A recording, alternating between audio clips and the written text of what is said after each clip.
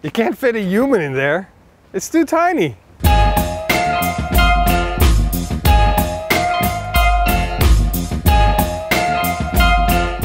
Hey Pitmasters, what is up? I've got two, five great accessories that I want to share with you guys today. But first, let's go shopping. Are you ready? Yes. Jeez.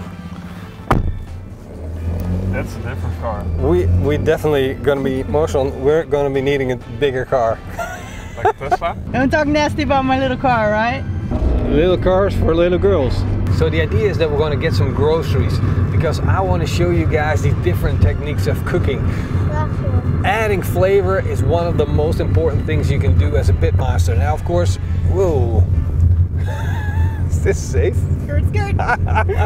Adding flavors is one of the most important things you can do. And that is what I'm here for as a pitmaster. So I've got five accessories that I want to share with you guys. One, for instance, is the cast iron griddle. Boris and I, we use it a lot of times for our videos. We did a lot of good burgers with our cast iron. What it does is give you a really, really good sear on your grill. What was your favorite burger, Marcin? Favorite burger? Yeah. Well, still smash burger. Smash burger.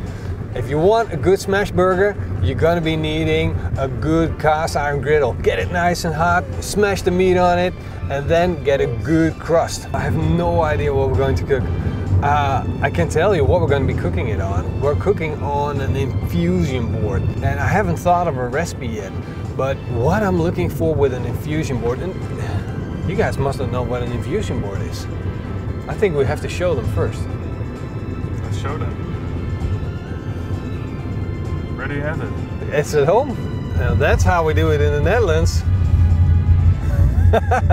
We're there. Keep going, keep going. Yeah.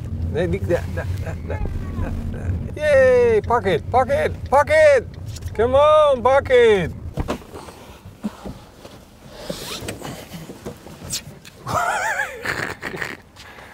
You can't fit a human in there. It's too tiny.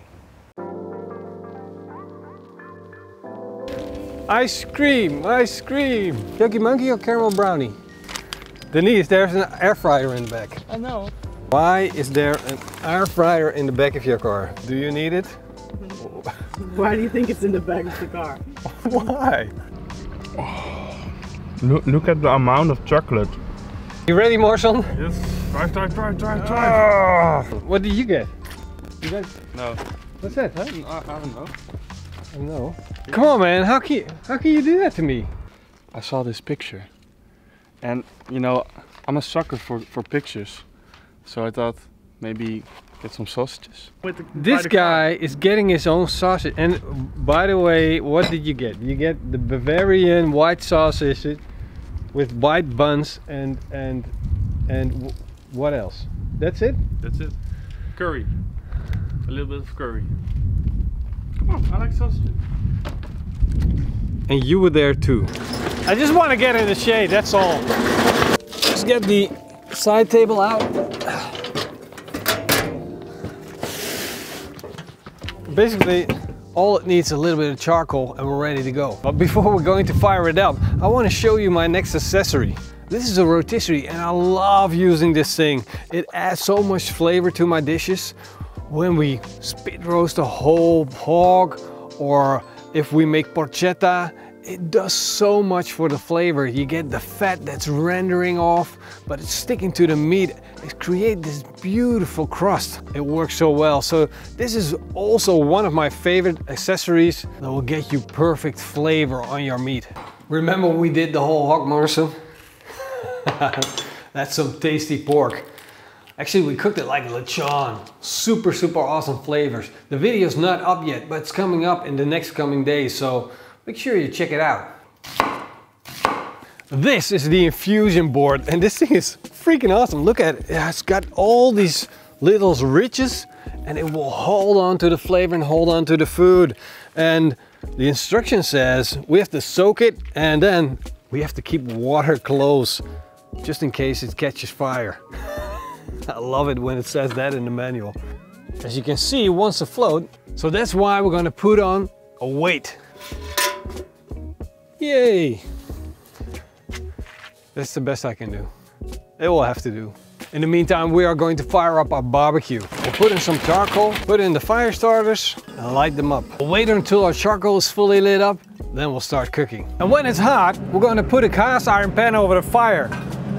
We'll wait for our pan to come up to temperature. Hey Marcin, he's got a bigger lawnmower than us. Look at the thing. My garden, no! Guess what? We've got cheese, brother. I've got some beautiful mozzarella and some gorgonzola. this is the spicy stuff. You definitely want to try this. It's gonna blow your mind. That's what I call fungus. And if you don't like this, just use a Gouda cheese or Emmentaler or whatever you like, whatever your preference is. That's the good thing about cheese. There's so many of it. I just like using Gorgonzola for this recipe. Now for our recipe, we're also gonna be needing some chicken and I've already seasoned these chicken thighs with a good barbecue rub. You can use any barbecue rub that you like. Let's put it on the grill. So we're gonna grill this chicken until it's completely cooked through and it has a core temperature of 75 degrees Celsius. Let's flip this around. Now we'll put some oil in the pan. Put in our onions. Put in our bell peppers. Add a little bit of barbecue rub. In this case, I'm adding Italy from Metacalis. this is gonna be so good. If you could smell this, you would be freaking out right now. Our plank has been soaked.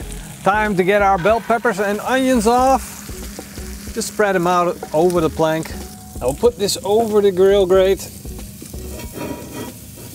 Put the rest aside. There we go. I've got this smoked ham and we're going to put it in a pan and crispen it up. It's smoked, it's fat, it's gonna be just as good as bacon. This is gonna be good. the moisture of the plank is evaporating. All the heat's coming from the bottom. The moisture is working its way up, getting into those bell peppers and onions. Next, we're gonna put our chicken on. We're gonna build this up like one big party. Our bacon is crispened up, now it's time to put it on the chicken. Oh yeah. layering up flavors. This is gonna be so tasty. Only one thing left to do, Marcin. Your favorite part. Cheese! And it's gone, it's gone. It- It's you oh, sure? yeah, it's gone. You smell that? Of course you can't smell it, but let me tell you, the smell of the cedar plank, it's giving off that smoke flavor and you can already see it. The heat is catching on to that plank, it's providing us with smoke, it's steaming cedar flavors. This is gonna be very, very tasty. I got this beautiful bulb of fresh buffalo mozzarella. This stuff is so good. I could just eat this like it is right now. Mm. Wow, amazing. So put the mozzarella on top. I want this to melt all over. I want this to become creamy. Oh yeah. Now I'm also gonna put some of that gorgonzola on top. Remember, if you don't like gorgonzola, just take something else. It's gonna be just fine. Gouda will be a good option. But I'm sticking that in here. This is gonna make things extra spicy. Now we're gonna close the lid and let it cook until it's fully molten. That cheese has to be gooey and all over the place. Then it's done. Our chicken has been cooking for around 10 minutes. Oh, we're getting close. I just wanted to get a little more of that darkness, the edges. So we're gonna let this go for another 10 minutes. Oh, more sun. It's done. First thing that we're going to do is sprinkle on a little bit more rub, just to get that color popping. And the next step, yes sir, we're gonna put on some liquor. We want some good caramelization, we want some flavor from the Licor 43. Now that's what I call a barbecue show. We went from a pale white to a nice dark brown caramelized color. We got those popping spots where we get that beautiful charred effect. We also have that cedar plank pushing out the flavors of cedar, pushing out smoke from burning on the bottom. This is promising to be a delicious dish. What do you think, Marcel? It's, it's too hot for those kind of fires. So let's take this inside, Morrison, so we can eat this while you sit in the AC. I don't want you to get overheated. We should be happy it's so hot. No, we're Dutch. Yeah, okay, it's way too freaking hot. Looking good. oh. I wish you guys could be here eating this with me. First bite, go in it. Mm. Wow. That sweetness from the liquor. Mm. With the saltiness of the cheese. Yeah. Come. Put the camera down. Grab a knife and fork. Let's destroy this. It's too bad that you don't like cheese. You notice that the gorgonzola is not as heavy anymore? The mozzarella, it melted out.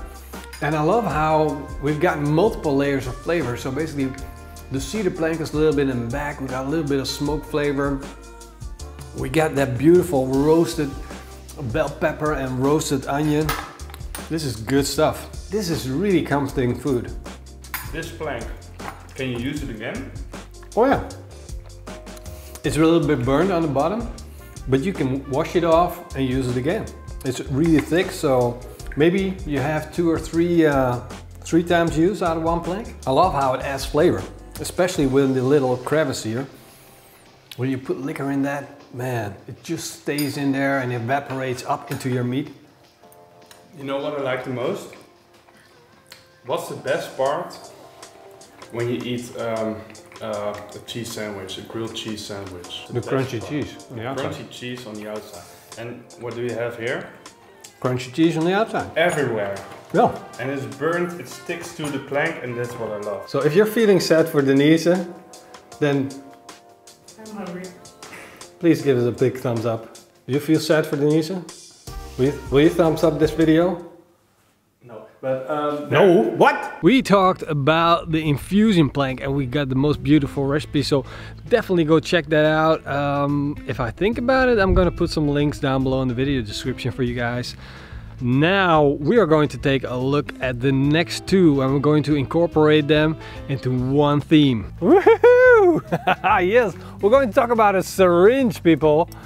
That's right, this thing can give you a lot of flavor. To demonstrate this, we're going to take some water, add some salt, dissolve the salt. Now we basically created a brine and we're going to inject that brine into our pork and it will make it taste like ham. I want to do a little experiment, so I'm going to cut my pork into two. We'll take some of our brine, put it in our syringe and inject it into our pork. Yeah, look at the pork getting thick, all filled up with salty water. We're going to use this rub. I've never used this rub before, so it's kind of like a test as well, but what does it smell like? Morrison. Almost like tobacco, like Javaanse jongens. It must be some kind of like coffee flavored rub. Let's give it a try. So we'll sprinkle the rub on both of our pork loins. Look at that color. That's amazing. We'll put these on the grill over indirect heat and we're gonna let them go real slowly. And when they're cooking, we're going to close the lid. Now we wait. It's all about waiting. Barbecue is a waiting game, guys. Woohoo, looking good. Time to get a sear on these things. No flames. why not? Ah, it's not always a big spectacle. You've gotten plenty of flames today. Let's go back, play the clip now where you were complaining about wanting AC. Now I'm going to show you guys my final trick for adding flavor at the barbecue. Barbecue sauce. And how do you get it on? Using a brush. Another one of my favorite accessories. So the barbecue sauce on and brush it on. This one might look a little too simple, but it's very important. The brush does a lot of good work. It allows you to spread out the barbecue sauce equally over your ribs, your pork, your roast, whatever you're cooking. This thing is very important to Pitmaster and it's well worth investing in a good brush. So what happens if you use like uh, a paintbrush? You can use it, but you know what happens when you paint your house? These little hairs, they stick to your, uh, to your paint. Same thing happens to your meat. You got all these hairs, I like to use silicone, easy to clean, works well every time. All we need from this barbecue sauce is to caramelize a little bit, to make sure that it sticks to the meat. We got our barbecue sauce caramelizing onto the meat, and our meat is done. Two feet, two feet, back up. Okay, let's carve this up because I'm really excited about letting you guys try this and figuring out which one is the one that we brined and what that does to the meat. Look at how juicy that is. Still a little bit pink on the inside, which is fantastic. I love it like that. Look at that. Look at how juicy that is. All right, that's why I got the camera. So Denise and Morrison, I want you both to pick a piece of the same pile and tell me which one it is, brined or not brined. So, tell me, brined or not brined? Not brined. Not brined? Mm-hmm. Okay, try the other one. I think I'm right. I think we are right. This is more pork taste, like more bacon flavor, more. I don't know, saltiness. Ham? Yeah. So Denise, which one is best? Say the first one. Mm-hmm. First one, not brined better? Really? But the first one was absolutely dry. Or maybe it's because it was the first bite. and all the flavors hit me. The brined version has so much more flavor and it's more tender and, and juicy. Never mind, these guys are just talking dumb. What I wanted to show you guys is the difference between brined and not brined. And the brined version, injecting it, it adds a lot of flavor. And if you like it or if you don't like it, it doesn't really matter. It will make your pork taste like ham. And basically what it tells you is that you can add flavors to your meat. So it's one of the accessories you're gonna need if you wanna be a serious pit masters. You're also gonna need a brush to put your flavor on top of that meat, on the outside, get it on, all in the right places. And rotisserie works really well. A cast iron griddle to get the beautiful sear on the outside. And if you really wanna try something new, try that infusion board. That thing is freaking awesome. I'm gonna close off this video. Hey Morrison, Denise, where'd they go? Hey, I'm gonna leave you guys to it. I hope you guys enjoyed this video and if you did, then leave us a big thumbs up and a comment down below. Hope to see you guys next time. Until then, oh, almost forgot our patrons. You guys freaking rock. We almost made it to 100 or when you're watching this video, we made it to 100 patrons. Freaking awesome. Thank you YouTube members. See you guys next time. Until then, it's Makkelijk and keep on grilling. What are you guys doing? Oh, they're stealing the meat. Hey, I didn't taste it yet. Get back here.